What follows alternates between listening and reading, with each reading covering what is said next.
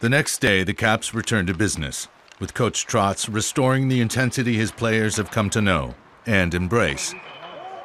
Any lingering thoughts of the long shootout are fine. They just have to be put to good use.